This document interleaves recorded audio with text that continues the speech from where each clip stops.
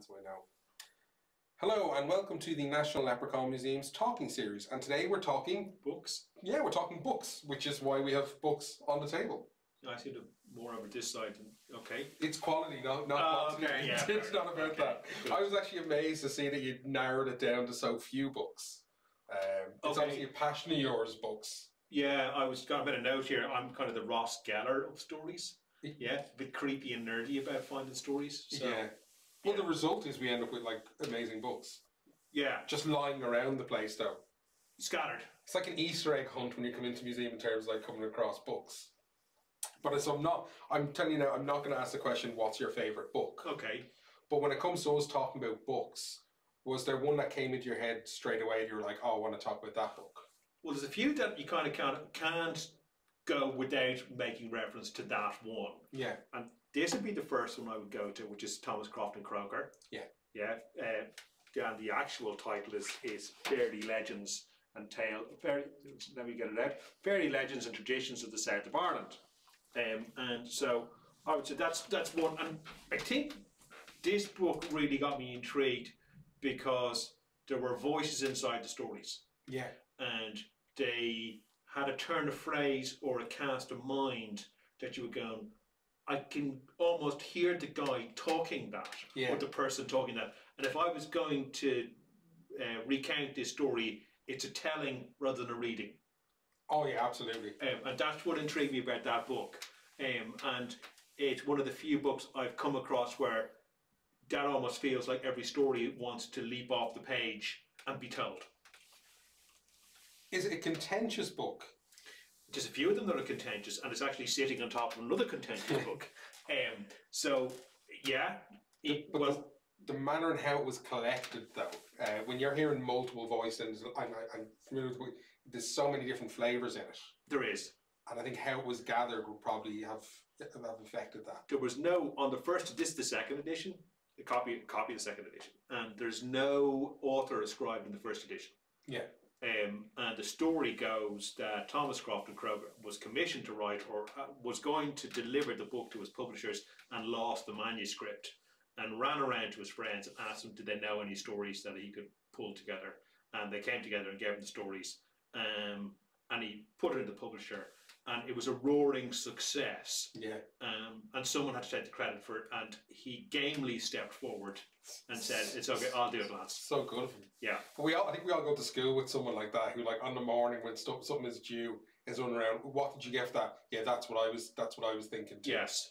Um, but the awful thing is, is, where other people probably would have put more work in, it gets the most acknowledgement and the best results and the, be- and the best response. Yes, um, and we there under uh, uh, uh, just underneath that is um, uh, Myths and Legends, and that is a Jeremiah Curtin book, um, and he is quite problematic now. Um, so there's a lot of stuff going on there, uh, which is really interesting. And these wouldn't be the first people who capitalised on the folk and fairy tradition. Uh, we were up at Oisín's grave in Antrim, Yeah. and that is a confection by Macpherson to try and prove his um, uh, the authenticity of his writings. But as soon as the stories go into written format, given that the stories would have originally been told and talked about by people with not that level of education, Yeah, is something lost when it goes? Or it, it is is a are collections like this stolen works? it's a, well, you could say in the Crofton Croker. So Crofton Croker is the son of a military naval officer in Cork, and coming from, uh, uh, I, I guess, uh, the garrison tradition. Mm. So it, it's cultural appropriation from the Irish storytellers. Even though he's Irish, you go, it, and it was Yeah. it was made for, uh, well, from what I understand, for a UK audience. Yeah, So uh, it is very much what people kind of resile against nowadays. Is saying that's taken from that culture and repurposed or, re- or appropriated. yeah. I suppose, and it's put into a format that's not as readily accessible to the everyday people who are telling these stories. No, and you, you absolutely um um I, completely. It's it's it's not for the people yeah from whom it was it was garnered. Um, and that is a certain thing on, on books, and I, I I wrote some stuff down, but what what you're seeing here is like it's a snapshot. Like if you take a photograph is just a fragment of an experience, Yeah. then a book is just a fragment of thinking. Yeah, Um, and it's it's yeah, we need it because it's recorded. Without the book, those stories would not be accessible to us. I suppose, like, and, and a reference point as well, because I know with a lot of books that, that we, we love our house that are, that are Irish books, we then get excited when we visit the place that Yeah. the book is set. I mean, we, we've done it with Circle of Friends, like we may have been to books. Yes, And it's kind of just the book is points us towards the experience. yes, and the lived experience is a, a bigger thing than the book can possibly capture. Yeah. um, and the book comes from a particular viewpoint as the author's viewpoint. Um, so it's necessarily only his viewpoint or her viewpoint, their viewpoint of a situation. Um, and when you go to see a storyteller, you can see the storyteller and the shadow they cast. Yeah. In, in an author, it's almost impossible to see the shadow they're casting on that story. Mm. So it's it's much more difficult to unpick that, uh, and you need to get into the backstory of why that book was put together, who was involved in it, and who was who was destined for. So they become more complex in terms of teasing them apart. That's why there's so many academics who look at um, yeah books. Yeah. But the, the transition, let's say, from a story told to a book would Yeah. probably be similar. You could compare it in the same way you compare when a book goes to movie format or goes to on screen. There's things gains and things lost, but the, the translation is always quite muddied. It translation. So and you would say look. The point at which you read a book and then you go to see the movie and you go, "That's not how I imagined that character." Yeah. uh, that's your imagination, that, that piece of your imagination that sits between what's written on the page and what your experience is. Yeah. Um, um, so yeah, I, look, our, what are books? Are books fodder for, for films and TV? Is that what they are? Are they manuscripts for?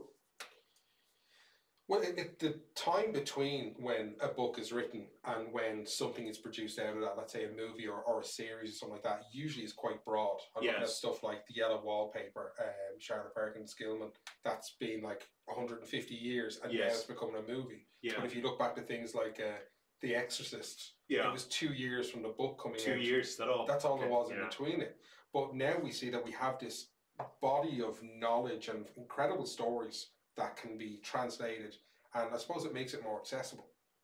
the movies the movies are much more accessible Yeah. and uh, you know even look at, at, at trailers and snippets and um, how people communicate thinking through memes and little snippets of movies um, they're very effective in terms of a, a general um, sense of what where we're at right now Yeah, um, but books, yeah, it, there's there's a there's I, I'm a big fan of Jacques Derrida, and he's he's he's gone. It's dead language.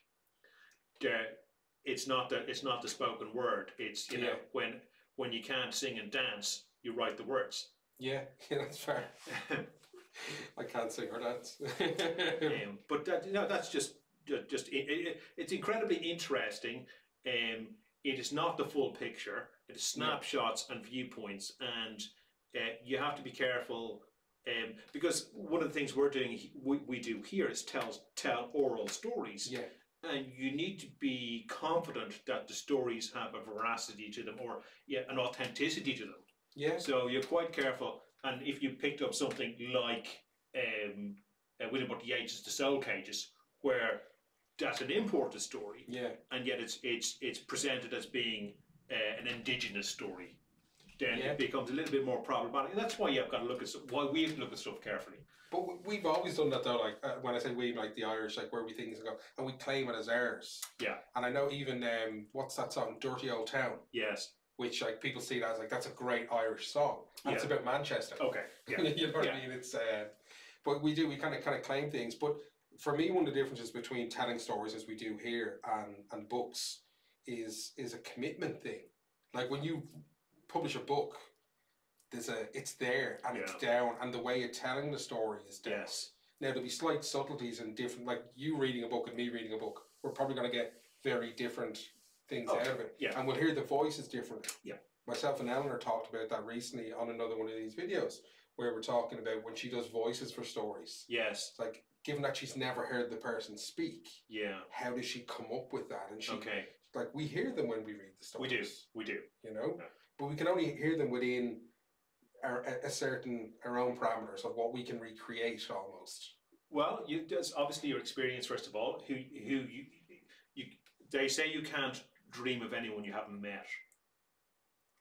So they're all composites of people you've met before. So Yeah. I guess the voice in your in, in your head when you read a story are snippets of people you've met before. Yeah, And also on top of that, it's part of your physical experience. So your embodied experience that you have, like my voice register d- would not go as high as Eleanor's. no, Um, so I'm I'm dealing with a different set of tones. yeah, Um, but let me just come back on. So we did these two books. Uh, uh, I I think we kind of covered those off Jeremiah Curtin and the Crop the Yeah. Croker.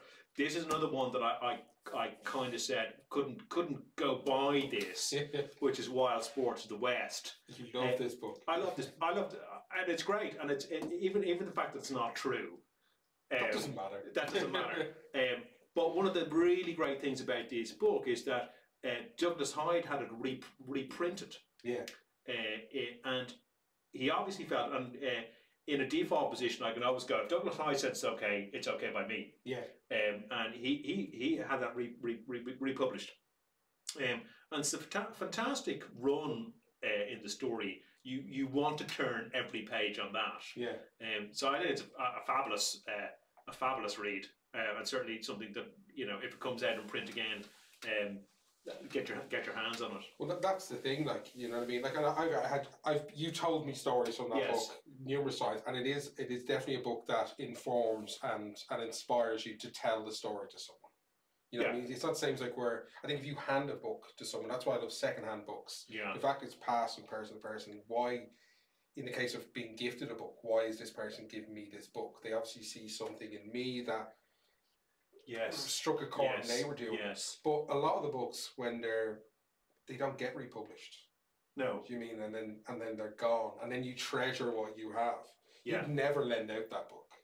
I, I this is this is my I I lent another copy of this and I didn't get it back. So you learned.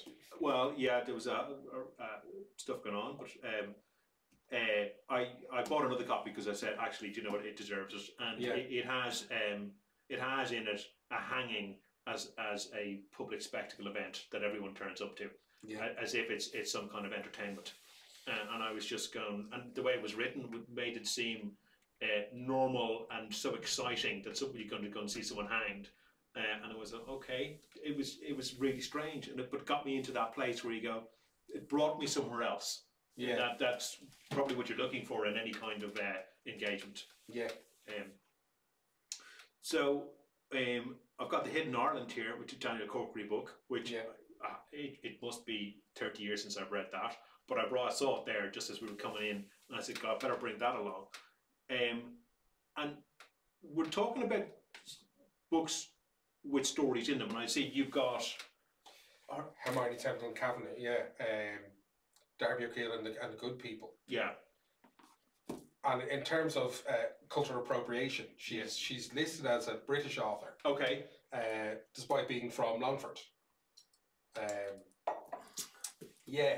Now she ended up in the States. okay, But this is another thing where you have um, a female author's work being used by Walt Disney, okay, uh, and and of barely any acknowledgement of the original author. okay. But she was writing short stories for magazines and publications, the Yeah. same as a lot of female writers were doing, you know, back in the day. But um, yeah, it's a gorgeous book. Like, Cover's excellent, I have to say. yeah, well, that's it. they say Yeah. don't judge a book by the cover, but you sorry. absolutely can.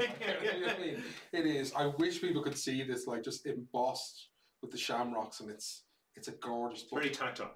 It is. You can Yeah. just feel it. But also in it, like, and again, it's one of the things I love about secondhand books is when flicking through the book, I'm always just so nervous about this book. There's a newspaper clipping inside it, which Okay. someone was obviously using as a bookmark. Probably won't find it now as I, as I Okay. scroll through. But um, I love those little hidden gems or just little annotations, thing written, things written Yeah. inside of books. Margin notes. Yeah, this this is the this is the clip. I don't want to hold it too close to the Yeah. candle. Um, President Taft is referenced on the back of it. You know, Okay. um, it's it's just amazing because it's a snippet of a time. Yeah. I think this book is what 1901, 1902. Probably. Yeah. It's in around that time. Um, but it's amazing when someone leaves something of themselves in it. Yes. Yeah, Yeah. I used to love jumble sales back in the eighties, where you'd go in and you'd buy old annuals and stuff like that, and be like, "To Christine, happy birthday from Yes. Auntie, Yes. whatever." You know what I mean? Yeah. I, I never wanted to rub those things out. No, there's kind of magic about them. but Yeah. yeah. Um, so there's books of stories and there's books about stories. Okay. So there's a huge amount, and we have a fair few inside about folklore, about Yeah. mythology, but about the the the, the how would you say the academic qualities of And those the things. craft of it, yeah, The- yeah. breaking down of it, yeah. So there's there's quite a bit in that, and I guess um, one of the things that always intrigued me uh, about what we do is you have the storytelling, you have the origin of the stories, you have the landscape, Yeah. and all of these things are, are kind of pulled together, and there's an awful lot in it. And no matter how far you dig into it, there's always something else to Yeah. find out Yeah. it just keeps on giving you more. And the more you look, the more you see. Um, But it's like like directors' commentaries and stuff like that. That additional information, and only really the the nerds, the people Okay, really yes, into it will, yes. will watch and read. Yeah, and course. I know I uh, I picked up the second hand copy of Washington Irving's um, nicely But we- Hammer, is it? Or no with the with the Sleepy Hollow in it, and it was Okay. the first English edition of it. yeah, But people criticised the book an awful lot because he had all his notes in it as well, okay, and they were positioned before the story. So it's Okay. like, I don't want to know this okay, before I've okay. after the point of the story, like kind of having a greater understanding of it is is what some people want. But you should be able to enjoy them just for what they are as well. Yeah, no, no, that, that, Yeah. yes, okay. So then there was one thing that you were saying there about not burning the candle, and I picked up um, as we were coming in, uh, Rodari's um, Grammar of Fantasy. Okay. Okay, and this is about how you create stories. So it's a book about how to create stories, and it's uh, this is fifty years since it was published. So the new edition coming out this year, also uh, by translated by Jack Zipes. So Yeah. as this as this one is, um, but he mentions in that uh, his father, who died. His father was a baker, and his father died um, of pneumonia. But one of the things he remembers about his father is his father burning his arms before he went baking. He would take a newspaper and set fire to it and scorch his arms so there'd be no hairs to fall into the baking. so this is when I saw you doing that. I was really going, well, yeah, I, I, yeah. I- Oh, the smell of burning hair that was uh, horrendous. But we did so we did a, a, a quick short course with Pat Ryan yeah. on the creation stories, um, and you, this really intrigued me that um, uh, Rodari would have someone would have thought about how you create stories. What is the necessary components for creating stories? Because it's not an easy thing to do, No. and it's not easy to do well, um, and yet we all do it. We're all Yeah. making stuff up every day. Well, we talk about it in terms of telling stories, like storytellers. We, we chat all the time, and it's that thing like, well, what do you need for a story? And you need something to happen Yeah. somewhere for, for that thing to happen, and then someone to have observed it in some way. Yes. It needs to have a witness. Yeah. Something needs to happen, and it needs to be witnessed, and then you've got a story.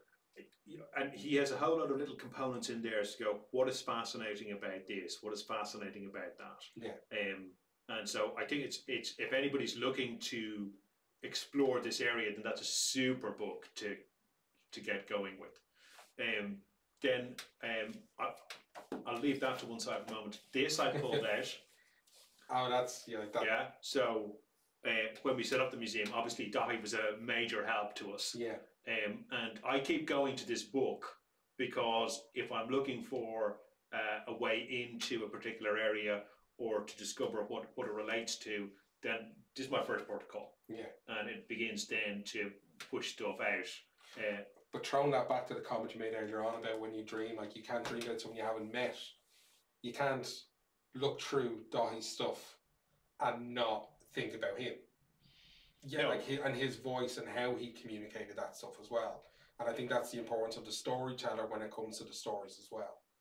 yes, Yeah. yes, yes, absolutely. But that's that's one of like seventy books that he produced. Yeah, no, I did. I mean, he, used to, he used to correct me when I go, I know I produced it, I've written this bit. Yeah, yeah. Okay. Whatever. He had no commitment issues because he was willing to put it down in black and white. Yes. He believed so readily, kind of like that he that he and he put the work in that he put it down. I love in terms of the oral storytelling, Yeah. the ability to make mistakes and to well, they're not necessarily mistakes because it's just a different path in the story. I, there's um, a fabulous uh, book called um, by a guy called Gaston Bachelard, and in the introduction to it, he says writing is really difficult. Mm. He says when I give lectures, sometimes the words do the thinking for me, Yeah, and because they just fly out of your mouth, and everybody everybody buys into that. yeah, Um, so there is that magic of being present, magic of oral storytelling, yeah, um, and it's participative. Um, and you're feeding off the audience, and they're influencing the direction the story's going as well. So, yeah, um, but we're here to talk about books, yeah. and um, I don't know. Maybe this is just a show and tell, is it now? Me, It me is a flicking book- a show me and flicking tell. a books But I don't think people would realize like that these books like are, are just sitting down like you know on shelves inside there. Um, what was the one recently? We, we were only talking about it the other day. Uh, Standish O'Grady, Oh yes, uh, where there was uh, uh, a friend of mine had seen the book on the shelf and they're Yeah. like, Trinity College has one copy of this book and Yeah. it's missing, yes. and yet this is places in Aladdin's cave of. Of, of books lying around the place, so it, it is a show and tell. I love the cover of this next. One. cover. I, I bought. A, this another one I bought because the cover. Now, I have this in in a later reprint, but I saw this kind of crazy seventies psychedelic cover, and I went, actually, that's amazing. Yeah, Um, and um, you think of the work someone put in, the concept, the, to conceive this, and then sell it to the publisher and the author that this is the right vibe to go with. yeah, Michael Dames' book, really accessible. yeah, It's got pictures in it and maps and Yes. stories, um, and it keeps you moving along. I'd say some of the stuff in it you'd kind of look at and go academically. You'd Yeah. go, you'd want to tease that a bit harder, yeah, but really great place to start, great place to get into stuff, yeah, and it also gets you thinking, um, because you, a, a lot of stuff I like to make sure I've got a second source or a third source yeah. that you match it up against and go, well, there's the diff, there's the there's the way people think about that thing. Yeah, Um, yeah, but and this- weight. As, yeah, but this gets you in, yeah, and then you can begin to, to, to push it out from there. But I, I say I love I love the thing, I love the ambition of it, uh, Yeah. of the book, and, And the back of it as well, like it's so Yeah. it's it's gorgeous. and it's Thames and Hudson, so not Yeah. what's not to like on that. Um, so this is only I would say what one percent, Yeah, if even of an ever growing. It, it, this is a dwindling percentage. the the yes I uh, the difficulty is trying to find a good story. Yeah, and a good story you can tell. Um, and you have to go to an awful lot of um, raw material to find a way uh, to get to a story yeah, um, and oftentimes there are only references to things that and then you've got to go and find out well, what's that about and Yeah. then But as long as you're, you're going staying true to it, and, and, like the books will give you, like th- this book here now, um, and I know I'm sad about this because it's it's not being printed anymore. so Okay. it's going out of publish. Um, and we've been had this in the museum since October 2016, yeah and I it, it, 1,989 copies. sold yeah That's how many people's hands we've put it, this book into. yeah But when we, the storytellers, go through this book and we're like looking at stories, how they're written in the books, we usually find the endings quite weak. Yes. how, how a story ends in writing and how you finish it in a room yes with people. It's so different. Yeah. Uh, and also as storytellers, as good storytellers, you need to know, you need to have an understanding of what comes before the story and after the Yeah. story. And when it's a standalone piece, you don't have that. I find it really, you're absolutely right, and I find it really difficult sometimes when you start to tell a story, you go, oh yeah, but then there was a bit before that. Yeah. And then you go, oh no, no, Yeah. but you have to really know about what happened there. Yeah, But great storytellers do that. Like Billy Connolly, I, I think is an amazing storyteller. yeah, But he does that thing where you've gone off on a tangent, but there's something you need to come back with yes. to complete the circle. And the book I don't have here is Brian Boyd's On the Origin of Stories, Yeah. which um, has a great chapter about um, uh, Odysseus. Yeah. and the uh, uh, Homer's Iliad, um, and it starts the night before he returns home, Yeah. and he says, "But I have to take you back to the beginning." So we know he's going home the next day, but we have Yeah. to go all the way back to the beginning to find out what has happened up to that point. And these are all tricks, de- devices. Probably Well, tricks is good. Yeah. You know, because it is, it's trickery, it's magic. Um, then on this one, and I have only got, I have to admit, um, That's a, that's as far as I've got in this book. Okay, but it's a meaty book. it's a meaty book. What what I stopped at that point because there was a, um, he was talking about um, the beginning of t- tourism in the Killarney area, which is really the first tourist destination in the country, um, and that the the uh, the the uh, boatmen on the on the lake at Lough Leane would take people out, and he was they were they were graded for the quality of their storytelling.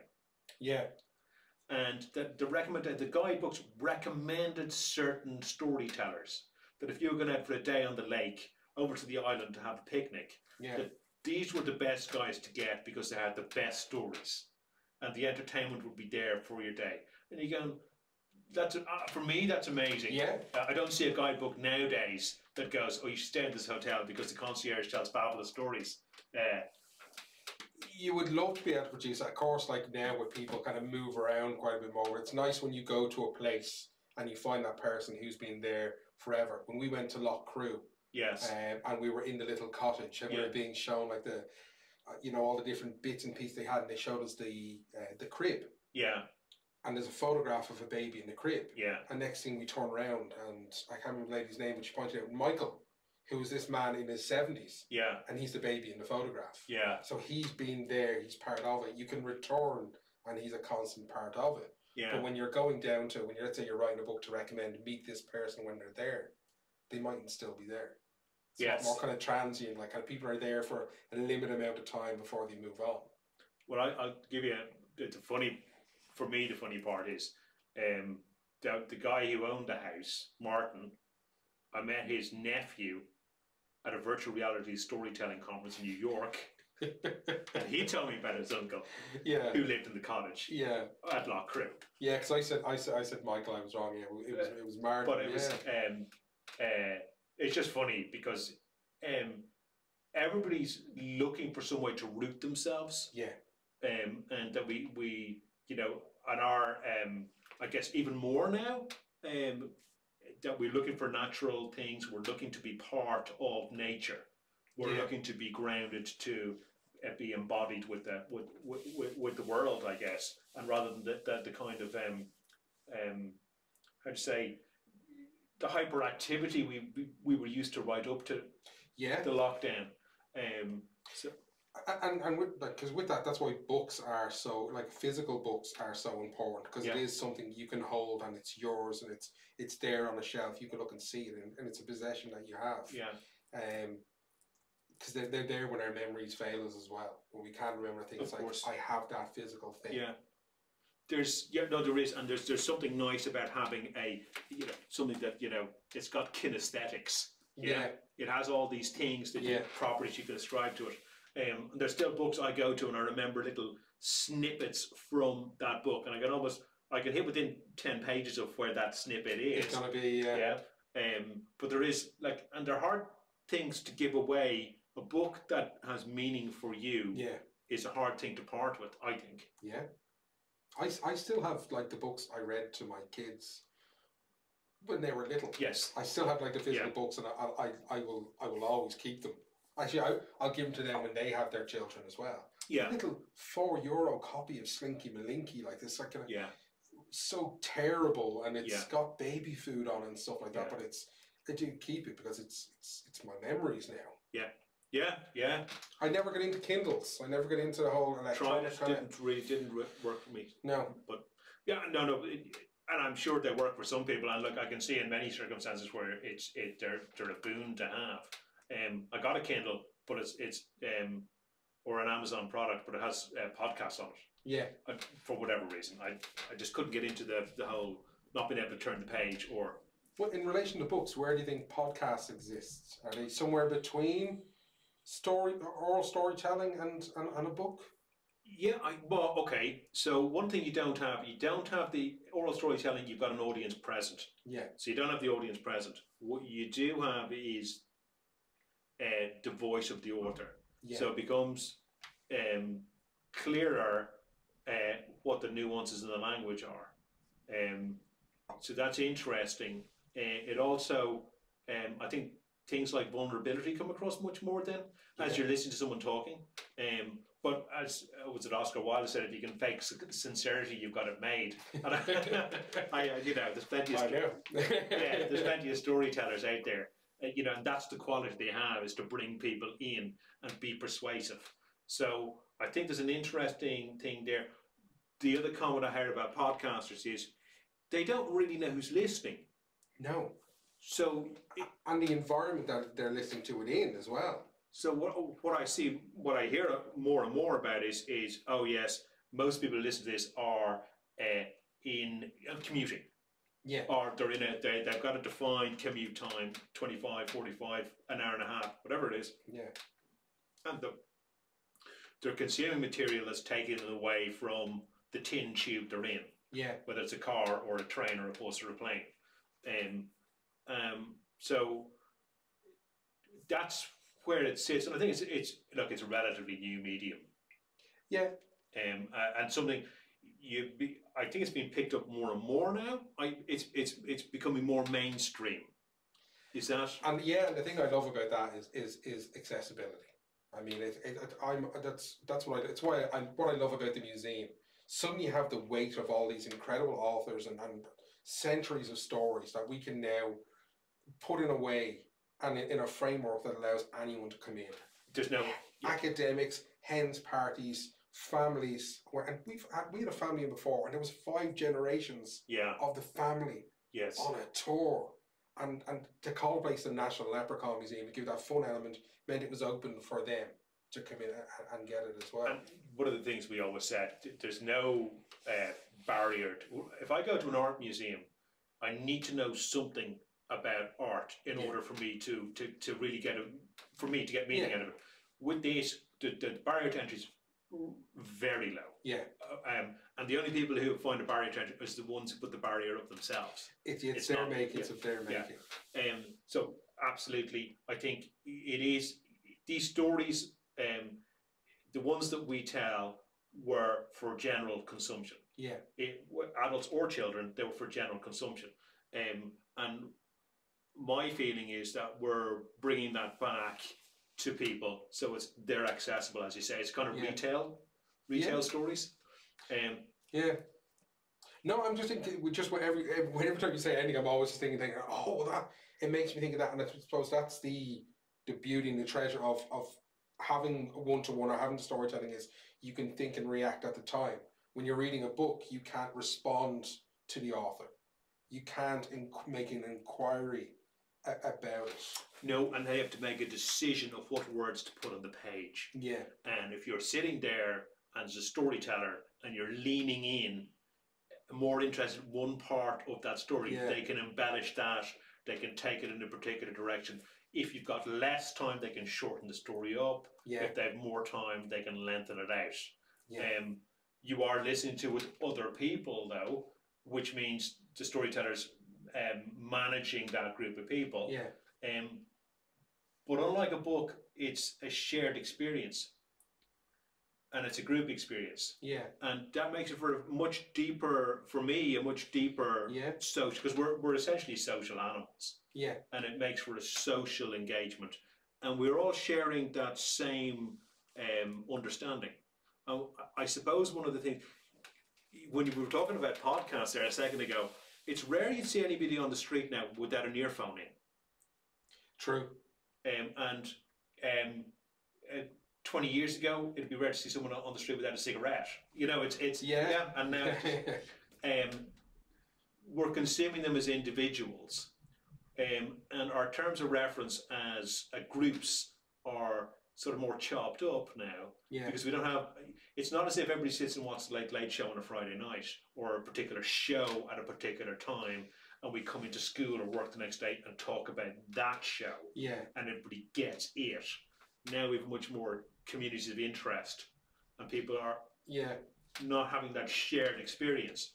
Now and i think that's vital for us. Well, then, how do you how do you share a book? Like, I love reading out loud. You know what I mean? And and I can share that way. But it's it's a very if you think of like like a Jackanory, yeah where someone reads a book to you. yeah But again, those words are there, so that's what you're reading from. Um, But how do you feel about people reading from a book in terms of how it relates to to storytelling? Um, I do well, I know um, if there's a quality to reading from a book that's that's that's better than reading the book yourself. So hearing a story Yeah, is up a notch. Telling a story is up another notch. yeah, Um, because when you're not looking at the book, you're looking at the person you're telling the story to. yeah, Um, and that creates, and you get that thing where there's mirror neurons firing, and all that stuff begins to happen. Mm. Um, and we know it works. We've seen it work here. yeah, Um, but also, I think Pat Ryan's latest study and some of the studies they're doing on the fMRI scanning yeah, show a noticeable difference between a book being read to you or a story being told to you. And there's much more brain activity when you're being told a story. Like I will, I will never read this book. Okay. I will probably never read. I don't. Yeah, yeah. I don't feel that I have to though, because Okay. like the joy I get out of going to listen to you, and even on the fourth and fifth time of the. Sorry, Yeah, right. But it's just because I, I won't get as much from the book as I get from hearing someone speak passionately about it. And I appreciate that. And one of the things that when you find these books, and I think there's something in it, Yeah, and I go, I, ha- I, I feel I have to go and tell people it's a, about the it's a fuel. Yeah. It fuels your passion for the engagement. But the stories, the, the books on their own, without being able to, you know, retell or, or, or discuss it with people, it just feels a little bit flatter. Is that why book clubs exist and Chardonnay? Yeah, I was going to say. Book clubs were, were started by, by, by the drinks industry. That's, Yeah. that's where they were started, particularly the, the vineyards. Oh, no, I, I think that um, uh, as a technology, Yeah, as an information technology, books have a really great place. And but things are moving on now, and we've all these other technologies coming in. Yeah. Um, but one of the things we hunger for is that human communication. Yeah. Um, and that understanding that uh, as a, as communities around the world, we're roughly all the same. Um, yeah, and storytelling is a way of bridging those gaps. Um, and people come in here and you, you did one of the remarkable things I always found about here is after people have been through the tour, after 45 minutes of, of hearing stories, and at the end they go, I remember a story I was told. yeah, Or- and whatever culture it is, it takes about 45 minutes for their brain to kind of click into gear yeah, and go, I want to tell you something. And they relate a story, usually from deep in their past, yeah, um, about, and it informs the way they approach the world. There's a Absolutely, kind of like they've embodied that story. yeah, Um, and that's why I think some of the fairy stories are so powerful, um, because people actually get a feeling for it, feeling within themselves. And Rodari says it in, in his book. The key element in Hansel and Gretel is the oven. There's yeah, there's all these coding up with it, the heat, Yeah. the danger, the food, the smell, everything is, and that that the, the, the cage the kids are in is a is a relationship to the oven, and yeah, um, so there's all these things worked into stories, and that's why they're so powerful. Um, and I can only imagine the difference between reading Hansel and Gretel as a kid or someone telling you Hansel and Gretel by Yeah. candlelight yeah, Yeah. I don't know. I, in I a don't think as cottage. I Yeah, don't think as a kid I would have been okay with that. Yeah. um, because reading them had enough of, a, of an impact. Um, yeah, but I, I, I love that. What I love about reading books is that the time I give myself to read okay, is so important. yeah, And given that what we do generally, obviously we're in a different time at the moment, a different phase at the moment, but the overwhelming kind of nature of being around so many people, you do need that alone time to just sit and, and digest absolutely. well. And, and books are a therapy in, in that regard. I- you read at your own pace, Yeah, absolutely, um, and you read what you're interested in. yeah, and you find things of interest in what you're reading. I think that's yeah, and uh, I think it's amazing. I think they are amazing, yeah, um, and I think they they provide a, like we can't speak to someone from eighteen thirty, no, but we can read what the, how they were thinking about Yeah. things. Um, so yeah, I complete completely get that, um, and it's amazing um, the amount of books being published now. yeah, I just like it's. I would find it very difficult to, to set out an, on a stall to be a, a, an author of a novel. Um, that would be Yeah, but it, it, we've seen it every day new ones being announced, and I suppose probably what we're plugged into, the machine we're plugged into, Yeah. we see these. Yeah. We're notified of this thing is being published. Yes. But it's amazing how much more accessible again it is to publish a book. I can only imagine what it took to, to publish something like this, you know, Yeah. back in the day. But nowadays with like Kickstarter and all these things where your community, your people will facilitate Yes. help you realize that thing you want to do. Yeah.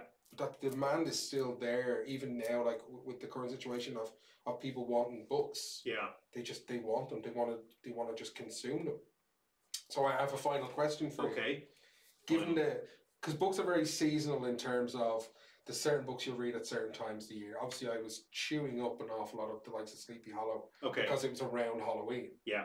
but that we're coming into a kind of a festive time Yeah. what's the story or what's the book that you associate most with this time of year With this time of year, yeah i know i'm trying to you i didn't didn't prep you with this I haven't. Uh, I I I'm I'm going to get into a Dickens book this year, so I think Yes, I'll pick a Dickens that. book out. Um, the book that blew me away, though, and when you're talking, when I just mentioned that, um, um, was the Age of Innocence, yeah and I just like that was that was I just found that phenomenal. Mm. Edith Wharton, I found that um, there was just so much going on, and I was just hooked from the beginning. Um, so it's a book that kind of picks this time of year out. Probably that. yeah Yeah, The Age of Innocence. For, And- for, for whatever reason. And, and obviously around, around Christmas time, which which will be coming up soon enough. Like in, in my family, giving books as gifts was was always a big. Okay. Thing. What's that? What's the book you'd gift that person? Who is that person, or, or even what's what's that book that you just go, you're gonna love me for giving you this. Oh my goodness. I know. I'm so sorry for throwing this at you. Um, I, it's going to depend on the recipient, I Yeah. think. and Um, it should. Yeah, I think um, there's certain books that you know uh, I've given people, or we as a family have given people, um, and they've just hit the spot. Yeah. People go, "That's exactly." I didn't know I needed that. Yeah. Um, and um, but giving people things, it's incre- It's like finding stories. It's it's difficult to find the right note.